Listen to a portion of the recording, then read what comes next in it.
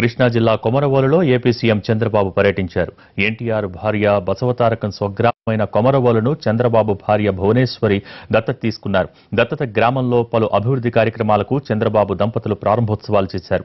శివాలయంలో పూజలు చేశారు. పంచాయతీ కార్యాలయం సీసీ రోడ్డు మహిళా సాధికార భవనాన్ని ప్రారంభించారు. ఎన్టీఆర్ గృహకల్ప కింద నిర్మించిన యాభై నాలుగు ఇళ్ళను కూడా చంద్రబాబు ప్రారంభించారు.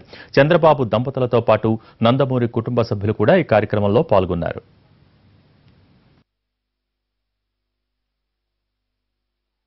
అభివృద్ధి చెందలేదు.